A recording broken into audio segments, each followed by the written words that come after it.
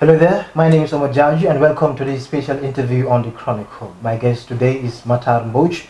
He is the assistant coach of the senior national team and the head coach of the Gambia Under 20. So today we are here to talk about uh, his role as the assistant coach of the national team and uh, as we approach the qualifiers proper going into the uh, Group D games to Cameroon 2021 and of course a big of his role as the head coach of the under 20. Mattarr, thank you so much for uh, giving us this time. Thank you. Thank you, Omar. Thank you for the Uh, so let's begin with the uh, Djibouti game. Yep. We went to that game with high hopes. And, uh, but first of all, how did you read the game? How would you analyze the game? Yeah, we did um, the analysis after the first match, um, looking into the fact that it was an away game. Uh, and listen, we looked at a lot of different factors. We explained to the boys that playing away in Africa, no matter who the opponent is, is very difficult. Um, anyone who saw the game knew uh, the challenges we had, starting from uh, the referee. There were a number of different obstacles we faced as well, but listen, they're not excuses. Um, nine times out of ten, um, the Gambia um, should be beating Djib- uh, Djibouti. Um, it's not to disrespect them, but it's just looking at uh, sort of the level of, uh, of, of where we have, where we come from, looking at different things like FIFA rankings. I think for the first time we've turned around and we've been the underdogs. Um, usually we are the underdogs, and the first time we came and played an opponent where we are the favourites. And uh, I think the mindset potentially was a challenge for us to accept as well, because it's a different game. If you come in as an underdog, you can come in with no pressure on you. The opponent expected to beat you, but then the tables were turned against us, and we were the ones expected to dominate and uh, and and beat Djibouti by even more than one goal, by by several goals. So uh, it didn't pan out that way in the first game.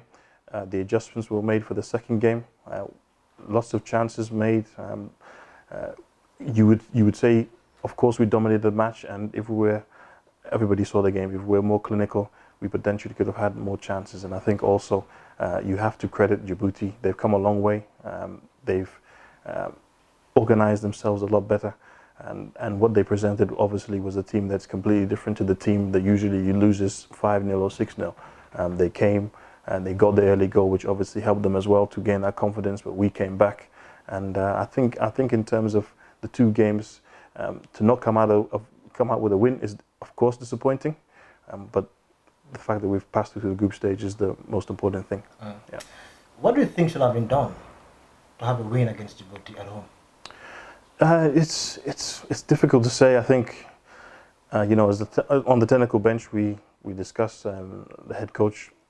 He doesn't just consult me; he consults different people, and uh, I think in terms of um, looking at the game, how I saw it, we needed potentially somebody like uh, uh, Yusuf maybe to come with the bench, um, someone with a bit more um, ball control, someone who with a bit with a vision, with a bit of quality. Listen, uh, we were forced to make some changes as well in terms of um, injuries and, and, and different things. So uh, we were just unlucky in, in that sense. But I think in terms of um, the players, I think they just need to have a look and, and start saying these chances they keep presenting themselves. They need to make sure that they they uh, they take them away uh, and and look at the chance that you will not get another opportunity. I think sometimes as a player when you're when you're playing so well and you can see you're obviously on top of the opponent that you become a bit complacent. Maybe you think okay another chance will soon come and I'll get I'll take that chance. Um, but then when those chances keep coming and you keep on missing them and time runs out then it's that's that's also an issue. You talked about uh, the coach taking decisions uh, like introducing players and even taking on players without consulting you as his immediate assistant. But why? It's, it's strange. no he, he did he did consult um, as I said he consults a lot of people on the bench and this is why Except you. No, he, he, he will consult me, but there's other people also on the bench who he also consults. Just to, give you an example, for the first change, he spoke with the, the team manager was also in the vicinity, and he took a recommendation from the team manager. How relevant is he in the team decision? No, I mean, it- selecting players. It's it's you have to ask the head coach in that in that sense, and you have to look at a lot of different things. Um, I think in terms of the Gambian mentality mindset, you know, you would expect the assistant head coach, someone who's qualified, who's been um, coaching for a number of years, you know, I sit down in, in my office majority of the day, and even at home, I, I watch players. I, I understand what they can give. I know what they give in their clubs, and uh, I would I would think that potentially um, what I have to say uh, would hold a bit more weight, but it's it's it's not always the case, and I think it's time that people sort of understand that. The head coach uh, takes opinions from everybody. He will ask a lot of different people what he should do, and at the end of the day, he's the one who has to take the final decision. Yeah. When did he ever take decision from you or advice, seek advice from you when it comes to bringing in players or even taking on players? Uh, there's, it's happened on several occasions. I mean, we've worked for one year, uh, and I'm very conscious of the fact, and I, I, appreciate the fact that the coach has said that I'm one of the best assistants he's worked with, if not the best. Uh, he's recommended me to do my UEFA license in Belgium and also Ireland. He, he wrote a very good recommendation for me. So I think in terms of he does trust me. He trusts my uh, opinion, my input. But I think in terms of along the line, something is has got mixed up and, and, and, and confused matters. So in order to make sure that he comes up with the best decision, he will consult different people. And as I said, yeah. at the end of the day, he's the head coach and he's the one that has to make the final decision. It's his job on the line. Um, you know, you said that I'm assistant head coach, but I'm not contracted as, as the assistant head coach. I'm contracted as the U20 coach. So when I'm there as the U20 head coach, the decisions that I take, I will consult, obviously, but I fully know that I am the one who makes the final decision. Yeah. Now, after a couple of years as the assistant coach for the national team, uh, tell us your vision, I mean, your philosophy as the uh, for the Scorpions as the assistant coach, uh, and the fundamental reasons why do you think the team has been falling short to, to, to qualify in all these major, major, major events? Yeah, as you've said, um, I've been assistant to a number of different coaches, and, and I think for me, um, looking in the future, uh, immediate future, I've got this engagement with the U20s, so I'm not going to be working as assistant coach uh, on, on, on that occasion because the dates clash, uh, and I've been asked to concentrate on the U20s to come through. Looking back, I think we are doing a lot of things very well the only thing that's lacking is that uh, is that patience. Um, I told you earlier, it's it's you are more comfortable, and we as a team are more comfortable when we are playing as underdogs. You know, we go to the, the camp in Morocco, playing two teams who are going to the AFCON, Guinea and Morocco, and we have nothing to lose. We know that they should be the ones to beat us. And when we are winning and sco scoring goals uh, and and winning the matches, it, uh, it it creates that that feel good factor. But we have to understand that the mentality of being an underdog is different to being a favorite. I think we have to start uh, being able to handle the expectation. Um, it's, it's the team's fault because the team has done so well, you know, it, with past results, so that brings its own expectations. So you expect it to do better, um, but maybe um, it's an expectation that we, we cannot, the team cannot match yet. And I'm sure in time, uh, given a bit of patience and support um, from, from, from, from the government, from the fans, if we all get on side, I'm sure, inshallah, the Gambia will definitely reach the AFCON. Uh, we will come there. But what decisions do you routinely take, routinely take as the assistant coach uh, of the Scorpions? None. I mean, we have a head coach. Um, I also work as uh, the national team administrator, so a lot of the things like invitations, um, I will send them because I have contacts with the uh, email addresses of players. I've, I will be the one to contact the clubs, for example. Um, I have to be aware of the FIFA rules on release of players and different things like that. Um, but in terms of the decision, I am always giving advice. The final decision is always the head coach. It's the same uh, at, at, the U20 level. Mm -hmm. I have a team that will give me recommendations. They will ask me how, to, to do certain things. Oh, how about this? Try this. Think about this.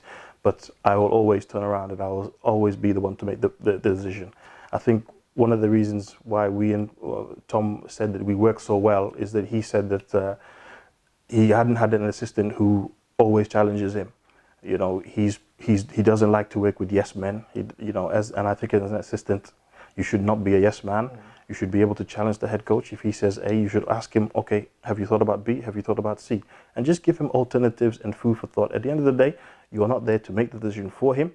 You are there just to to help um, and give him as much information as possible so that he himself can make the correct decision uh, at, at the right time. Mm. And what's your philosophy on recruitment and overall call-ups for the national team? Yeah, I think it, for me as a coach, you have to look for players that fit into your philosophy. Um, for the 20s, last time out, we were a team that wanted possession of the ball, that wanted to play front foot football. So if you look at the fact that it's a possession-based team, um, from the goalkeeper onwards, you look for players that fit into that into that template, into that model. Look for players who are comfortable on the ball. As a centre back, uh, to play, uh, my philosophy to play in my system, you have to be comfortable on the ball. Uh, the same as a goalkeeper because the goalkeeper is also part of part of the 11 and is also the first uh, one of the first players that's used in the build-up. So I think whatever your philosophy is, you have to try to look and find players that can fit into that philosophy. It's much easier to do that um, for the junior teams because you have more time to work with them. At senior level, whatever your philosophy is, um, it's all about winning. At the end of the day, it doesn't it doesn't matter how. It's about getting the results because that's that's the first team. It's the national team, and uh, if you could win every game playing a certain style, stick with it. If it works, fine. If it doesn't work, then think about how you can change things and tweak things. It's not necessarily a case of abandoning things and starting uh, from all over. But that's that's me. That's personally my philosophy. That's what I believe in. But I know it's not uh, it's not the same for, for, for every coach that's out there. What about yeah. Tom?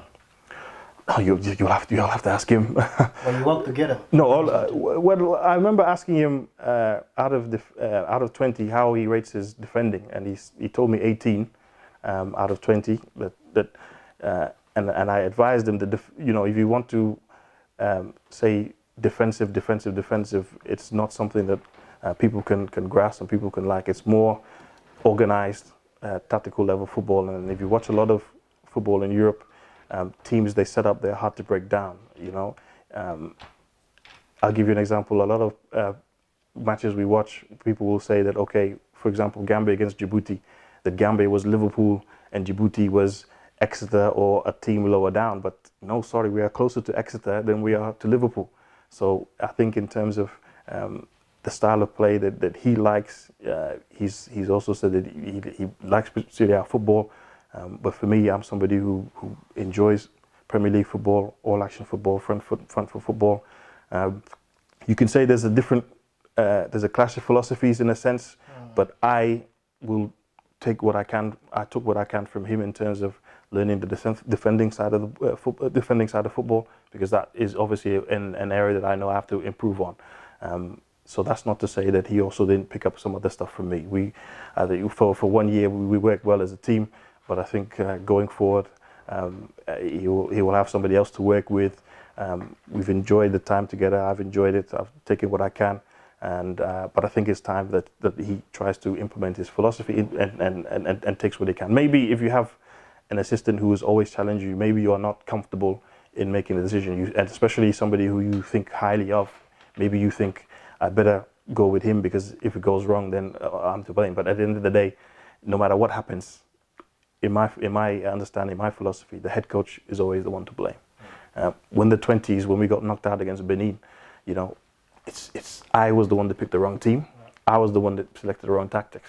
You know, it's it's the same. Um, one of my favorite quotes was from Mourinho, who said that uh, when the team wins, the coach is part of the, the those responsible. He's part of those responsible, but when the team loses, the coach is fully responsible because you are there just as that, as that shield. Um, especially at youth level, for me, I try to protect the players as much as I can. At senior level, it can be a bit different. It, it, varies. You cannot let players get away with certain things at times, so you do have to go down on them. You do have to um, try to get more out of them. But uh, as I said, um, maybe working with somebody who who's always challenging and always giving you another option maybe gives you too many options. So in the end, you're not too not too too sure what you should do. Yeah. Maybe. And uh, Group D at the corner, November uh, the qualifiers proper begins yeah. Yeah. Uh, against Angola, a side that you uh, are aware of. And Gambia played against Angola, uh, both uh, first leg and the second leg. How is the Gambia preparing for the Group D proper? Many will say is now the time or never. Do you believe that? Yeah, I believe. Um, but you know the the guys who are responsible now. Um, unfortunately, I'm not. I'm out of the picture. Uh, I could just I just give advice where I can. I think the group, it's it, it's football. Anything is possible. We saw the Djibouti game, and you know everybody expected Gambia to beat them over two games. They managed to get a point. Uh, everybody expected us to lose inside Morocco. Uh, we managed to get three, well, get get a win. Sorry, in a friendly match. We played inside Algeria, who became AFCON champions. They expected to beat us, but we ended up drawing with them twice. So it's all possible. I think it's important to start very well. So these two games are hugely important because they give uh, the they, they paint the picture. They, they start to paint the picture for the rest of the group stage. Uh, yes, there's not another game after this one until September, but to have, let's say, four points on the board would go a very long way into making sure that uh, Gambia we finally get to the AFCON. How do we go? How do we, uh, before even going further, where are we now? Are we preparing now? Where are we as a nation? Yeah, no preparations are underway. As I said, you've you've you've caught me on the time when I'm not uh, working with the senior team. I'm concentrating on, on the 20s. Um, we've got our training coming up this week, mm. and there's there's a team of people. There's other people who are sort of looking and are now responsible for looking at the national team. I'm not I'm not I'm not part of that. Mm. Yeah. Uh, you are responsible of sending invitation to these players for national team. Yeah. Um, uh, did you start consulting with the head coach Tom on how to call and who not to call for for these? Uh, qualifiers? You know, he, he made his, his last selection, he made it, he didn't consult me. Um, Why? He, no, you'll, you'll have to ask him. You'll have to ask him. He sent uh, a list of players, and uh, in terms of sending the invitations, I, that was just part of a role that I was playing before. But now that I'm with the U20s, I've been I'm concentrating on the 20s. That's going to be somebody else to do that one. So potentially he must have consulted somebody else. But all I can say is that he, can, he didn't consult me for, for, for this time. Uh, yeah. But why do you think this thing is happening between you and Tom? It's a guy that you started working smoothly together. Yeah. But now things are not looking so much cool between you two. Two that's supposed to be working together nicely at the national level. As I said, we've worked for over one year now. Uh, you know, all the positive results we've had, I've been there. Um, I've also been there for the negative. I think it just comes down to um, responsibility um, and, and, and the ethics of coaching. For me, as a head coach, I will never stand and I will never point fingers at anybody else but myself. And I've already told you, you know, why we got knocked out of Benin. We won the first leg 2-1. It was me who came up with the wrong tactics for the second game. It was me who came up with the wrong 11 uh, for, for, for, for, us to lose 2-0. Uh, if I could have the game again, I know exactly which tactic I would I would go go with, but that's not a guarantee to say that anything could have been different. Um, sometimes also um, we go we anal we analyze these decisions, the technical decisions, too much, where we think that okay, if this, if we change here, if we put this one on, then definitely this would happen. But that's not how football works. Um, I think that in terms of the relationship now, it's. I think he feels that he needs to work with somebody else. Uh, if, if, um, and I don't believe um, that he would turn around and say that it's my fault. I've not heard him say that, uh, and I don't believe he would say that because someone who you've worked with for one year alongside you, who's who's backed you up, who's helped you, who's even even even if I don't agree with something that uh, the head coach has said, I still when I go to the players, still when I go to anybody else, I say no. Okay, this is what's happening. Um, in terms of uh, how he comes about uh, in the future and who he works with, it's, it's, it's now up to him. Uh, I, I just I even asked him to find someone someone better, please, just somebody who you think can help you, who can advise you, uh, and who you think can do maybe what you thought I couldn't do for you. But it was a good relationship. As I said, uh, you know, I told him about the fact that I wanted to try to get my uh, A licenses. He recommended me. He gave, gave me a glowing report to uh, to the Belgium FA and also to, to Ireland as well. So I think in, in terms of somebody who you hold in that high regard, I don't think overnight anything, nothing can can can overcome that. Uh, so so it's it's just oh, it's just looking forward to the future. Um, all I know is now um, my immediate focus is for the U20s. There's a trophy to defend. So in terms of that, that's my immediate focus. And I wish him all the very best in his engagements coming up. And if he needs me for anything, obviously I'll be I'll be there to, to advise him as best as I can. So yeah. Gambia, Angola, would you be in the bench, technical mm-hmm. bench? No, yeah, that the plan is I should be in Guinea. Yeah, the, the, the tournament starts on the 14th to the 29th. So by the game, the game should be on the 13th, and we plan to arrive in Guinea on the 11th. So I'm, I'm, you, you will not see me on the bench. Let's talk about also the your discipline policy, mm-hmm. national team, not only 20 this time. When players, uh, you know, uh, get in trouble with the staff, or even fail to turn up for national call-ups, what is your discipline policy as a coach? It's, it's, it's difficult to talk about because uh, you've you've said it's the national team, but I'm not I'm not the boss when it's, it's the national team. Um, Uh, the head coach's policy, you, you'll have to speak to him about that. Um, all I can tell you is that uh, uh, at, at my level, what we do and, and how, we, how we approach it. Um, it people can people can make up their own minds about people who uh, players who turn down call-ups, but in terms of the discipline and the policy, um, sorry if it sounds like I'm leading you onto something, but it, it, it's it's just something that's uh, that's in the domain of the head coach. Mhm. Yes. Yeah.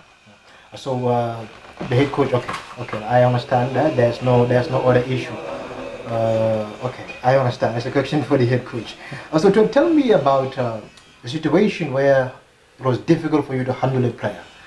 It can be on the 20 or in the national team. How do you approach? How do you do that? No, I think in terms of uh, professional football, um, you know, when you're the group of men, you know, lots of testosterone flying around, tension can get can get heated. But I always try to behave um, in the best manner possible, the best professional manner, um, because I, I I try to empathize with the players. I want to put myself in their situation.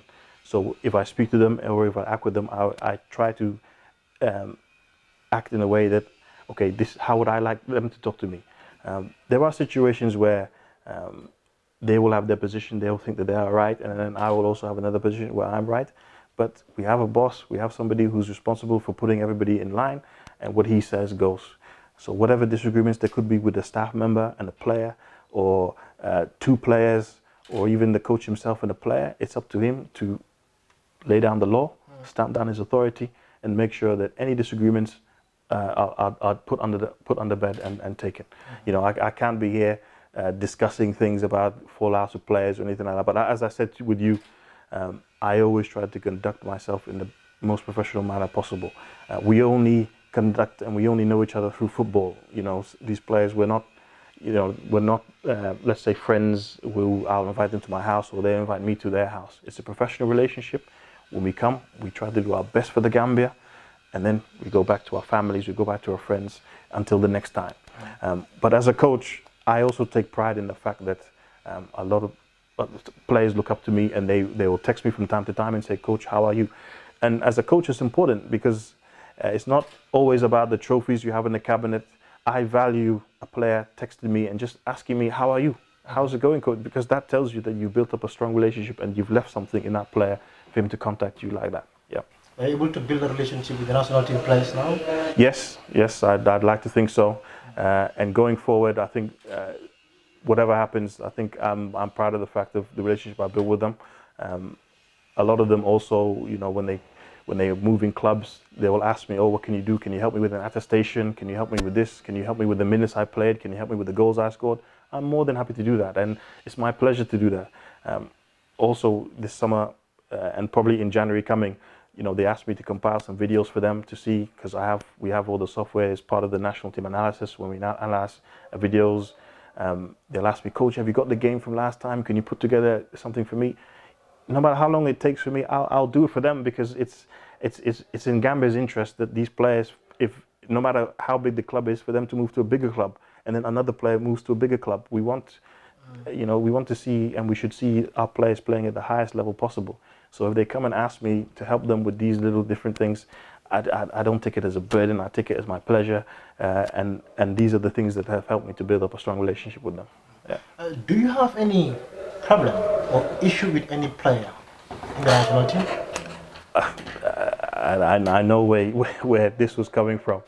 Uh, there's been a lot of talk about certain players. I, I, can say that I've never had a problem with any player. Um, I can say that in terms of the public perception, I've kept quiet because it's maybe it's my own fault, but it's my professional manner.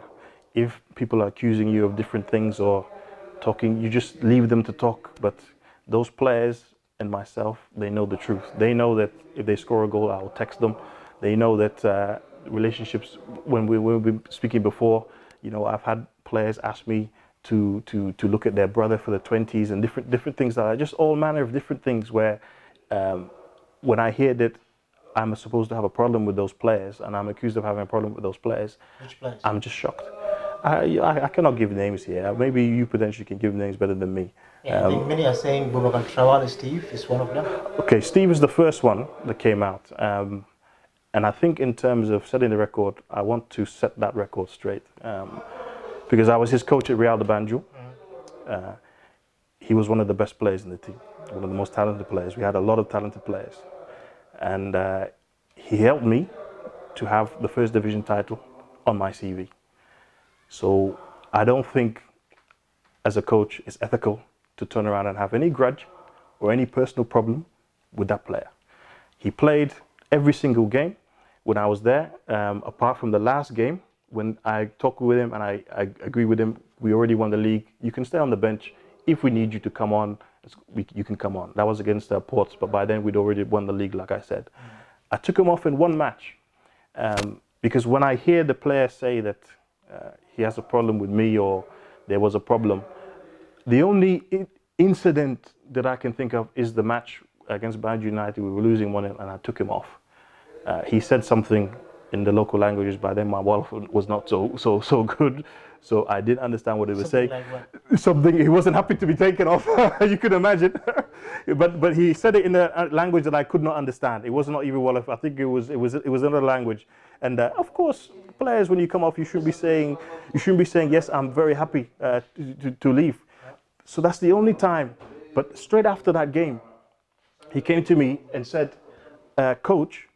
if you'd left me on for another 10 minutes, I would have scored. And I said to him, but, but Steve, Joel, I left you on for 56, 50, 58, 60 minutes, however long it was, and you didn't score.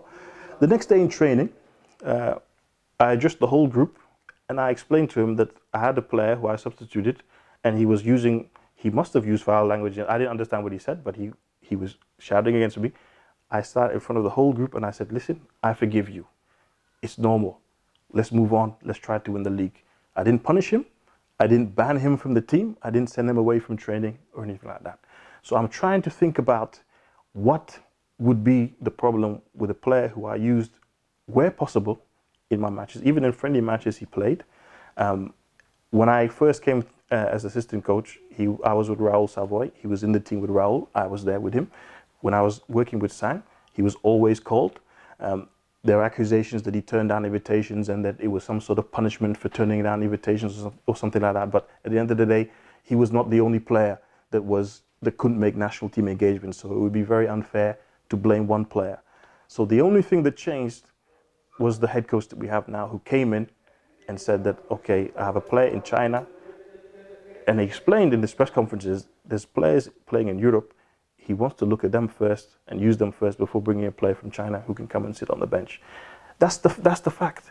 And um, I I the reason why finally I can and I'm and I'm happy you've come and asked me this, Omar, because it's I wonder where it comes from. Um, I was really shocked when I saw the player himself say that he has a problem with me. That was that was when I realized something is wrong. Uh, because before I just thought no, somebody's advising him. I think his brother said something. Some all these other people who were representing him said all these different things. Um, but the player has to realize he's a he's a talented footballer, um, and he hasn't fulfilled his potential yet. If you look at where he's gone and, and where he should be, um, there are there are lots of players who are had in Real de Banjul and they're playing in professional leagues. It's not to say that Europe is is is the holy grail and, and, and it's Europe or nothing.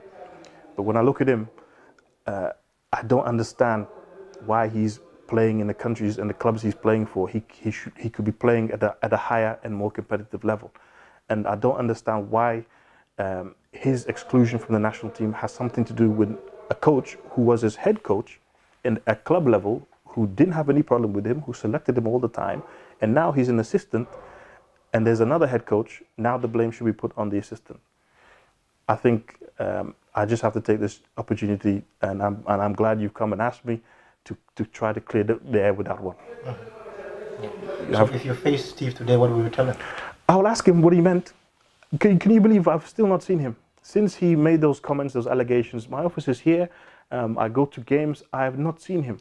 Um, and I also tried to reverse, and I think to myself, if, if, I was in his shoes, if I was a player, and I think that the coach has a, I would call him and or I would confront, him and ask him, why am I not playing in the national team? Why are you bringing Real de Banjul things to? But he's, he's, I've never seen him. I've never had the opportunity to see him face to face. And uh, if you talk to some of the players who I had in Real, they'll all tell you the same thing. They said, when did you have a problem in Real? We, we don't know when it was because we were all there. You played every game. The, the, coach never sent you away. There was even one week when we used to have uh, Player of the Week. Uh, and can you believe uh, he, he, came late to training that day? Um, you know, we, we had a good game. We won 4 0. Uh, he came late to training that day. And uh, I was going to present him with the, with the Player of the Week award. And I said to him, Oh, should I give it to him now because he's late? But in the end, I said, No, this is one small transgression. Yes, being you should not be late as a player, but in the end, I still sucked it up and I said, Trawally, you are the player of the week. So, and then after that, he told me, Coach, I'm going to win this every week. It's, it was motivation to him.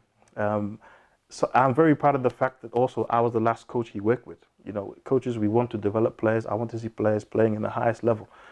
Uh, when we um, first came, when I first saw the team, uh, Trawally had a problem with tracking back. That was his first away, first of all, his weakness, and he had to try to come back and help the midfield. I tried to ingrain in him tracking back and winning the ball. I explained to him that scouts they will look at what you do on the ball, they'll be happy with what they see. They'll say this guy is great going forward, but then losing the ball, if you're walking, if you're slowly jogging, looking like you're not interested, they will leave you alone. I explained that to him. And you know what? We're playing Hawks we, we win the game, we're winning 2 0. Uh, you know, the game is comfortable. You would think, okay, let him jog around. He, he went from his position up front. He went to tackle a man, slide tackle. After the game, he came to show me, Coach, you see the slide tackle I made, my skin is all off. I was proud of the, I was proud of the player because there's something that he, he understood from what I was saying. So for him, um, I understand other people around him to try to uh, I guess, influence him for their own personal gain. But for him to turn around and say that that somebody who who, who, who I uh, tried my best to to make sure that he was yeah, that he developed as a player on his weaknesses to the point where he was eventually sold and he was became a professional. Before I came, he was going for trials here and there, and I just explained to him the thing you're missing is this work rate. Mm. A scout just needs to see you make that tackle where you have a, a, a scar on your leg. And he listened, he did it, and finally he went off. So, and we worked together in the national team on several different occasions with two, uh, two different coaches. So it really, it really surprised me. But at the time, I was told, listen, you have to keep quiet. Don't be, uh, don't be distracted by anything. Allow these things to fester. Uh, people will forget about it. But still, now there's still something in the back of people's minds. So I just want to clear the air with that one. Again, Omar, thank you for the opportunity, because when this happened, no journalist came to speak to me when it happened. Nobody came to get my side of the story. They just went with one side of the story. And I think there's ethics in coaching, there's ethics also in journalism to try to get two sides of the story. Mm. And I'm glad that you've come to get my side of the story, at least on that issue. So apart from Steve, is there any other player that you have issues with, allegedly have issues with in the national team? Uh, you tell me. You tell me. Are there? I don't know. No, I, for me, I don't have any problem. I think uh, um, the ones that came to mind maybe is Modou Barrow. Um, but I don't have any problem with him. I know that Modou has um, his own, uh, I, don't, I don't want to say issues, but he has his own reasons why the coach is not inviting him. You'll have to ask the coach why. Um, if all those issues are put to bed now, again, it's the responsibility of the head coach.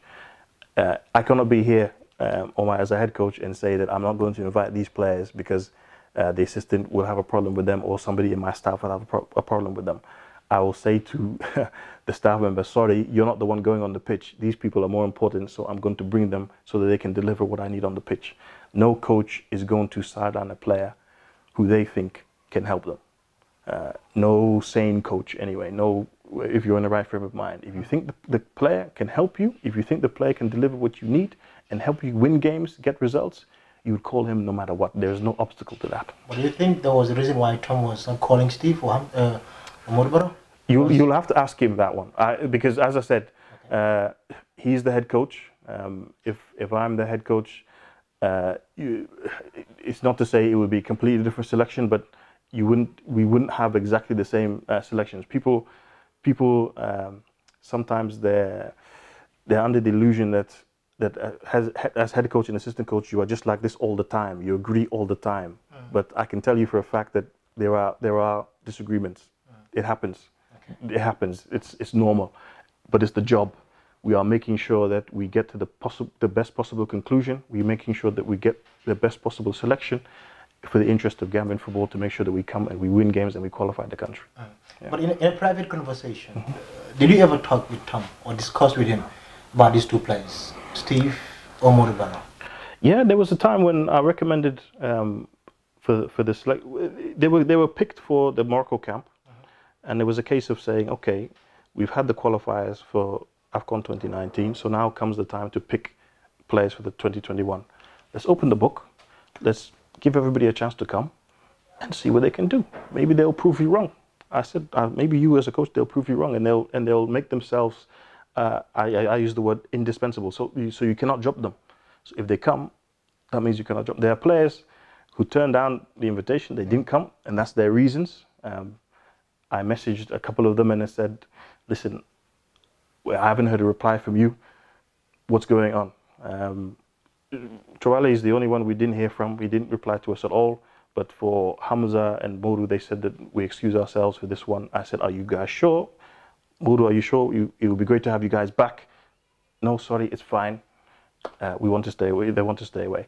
Um, and um, I, I cannot defend them in that situation. I think we just have to move on and understand that these guys, for whatever reason, don't want to come and play.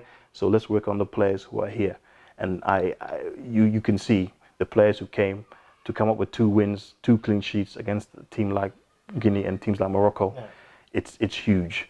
Uh, so if you go from there now as the head coach, it's it's going to be difficult for him now to go back to those players again when they've already let him down.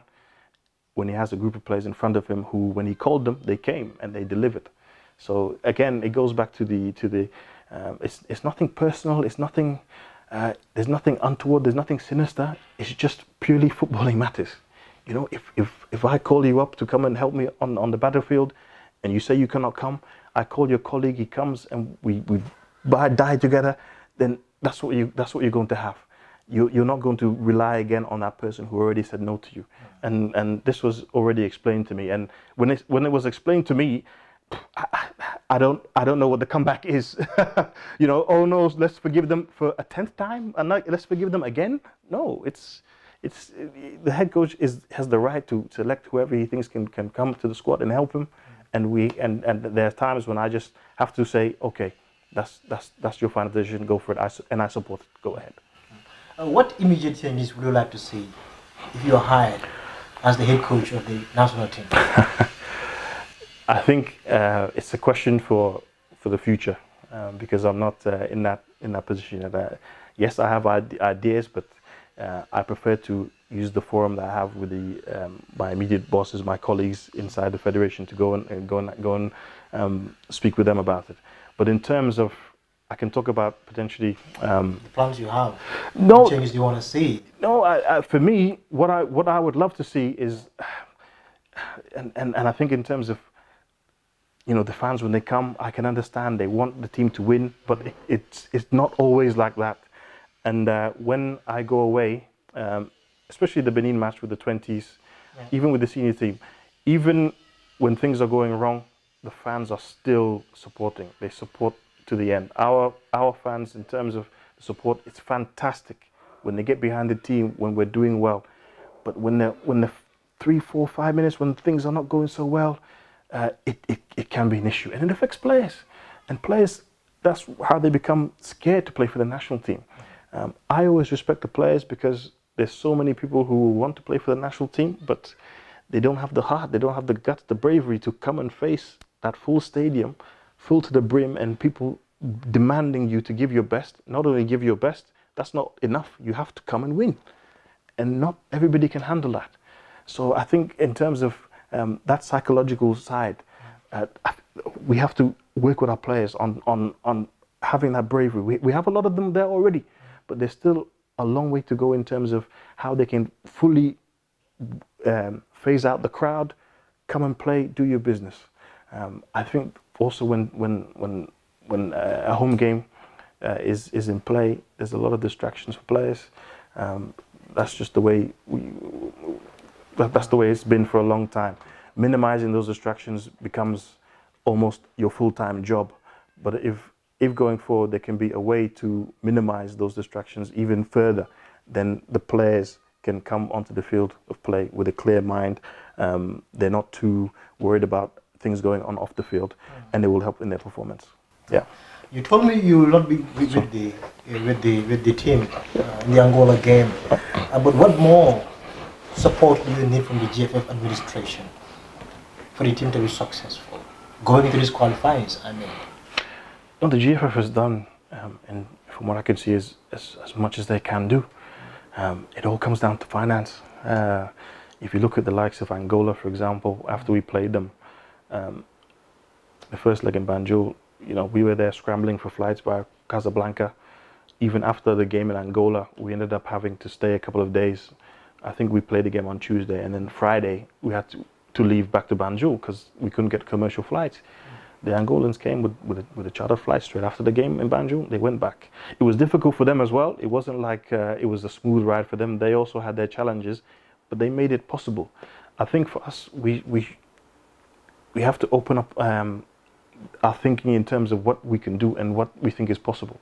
Um, don't look at football um, as something that, that doesn't need a lot of investment or uh, is, is, isn't important. It's, um, I always love Carlo Ancelotti when he said football is the most important thing of all the least important things. Mm.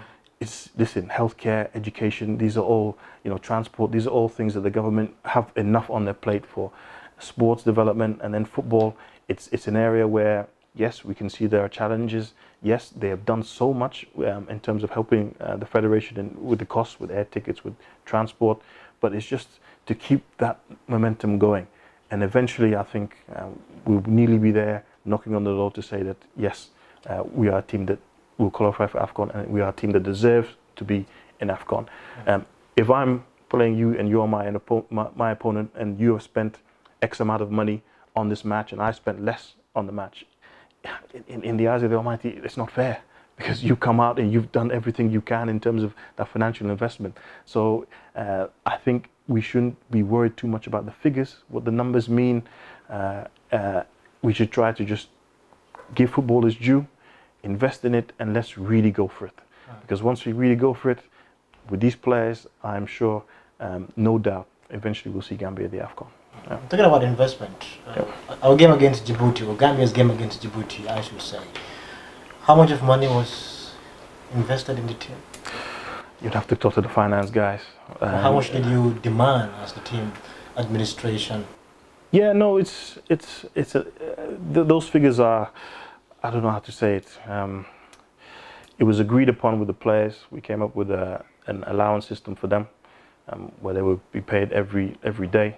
Uh, we also came up with a bonus system, but there were different things that they asked for that obviously we weren't able to to fulfill.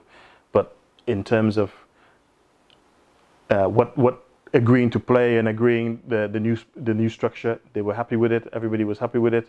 Um, all the other things like accommodation, air tickets, those things. Uh, all all I would do is I would just get the list of the players. I would work out the city they're coming from. I would give the best possible route for them to travel as, as part of uh, this administrator role that I had, um, just to give them that comfort. But obviously, if I give a ticket that's it's only a, a 10 hour journey, for example, if it's a 20 hour journey or 24 hour journey, then it's, then, then it's a bit cheaper. So we, we, we sometimes have clashes in terms of that, that, that budgetary constraint. But we always try to manage as best as we can with players. Um, you know, going back to Djibouti, we wanted to go via Turkey. Uh, Djibouti came back via Turkey. We were not able to. We had a, a long mission to go to Doha, to go to Casablanca.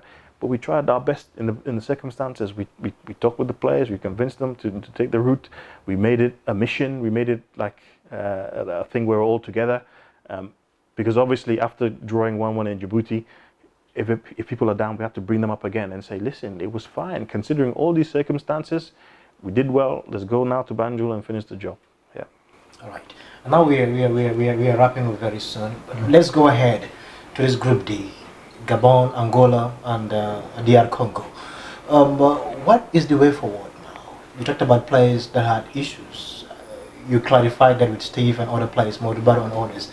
But do you think the country needs them now for these for these for these qualifiers? And how yeah. will be the approach, or what should yeah. be the approach of getting these players on board uh, for, for, for these qualifiers? Can I just say about uh, Hamza? Um, Hamza? You know, I, no, I heard something about Hamza, and I'm, I'm, I'm being honest with you here, that um, because I was part of the coaching staff when we played Central Africa at home, he wasn't happy at being substituted, and he thought that I was the one that said to, that he should be taken off, um, not knowing that as a front foot coach, you know, I wanted, another, I said another player should go off, but uh, you know, as a, as a coaching team, we all have to come to a decision, and we agree.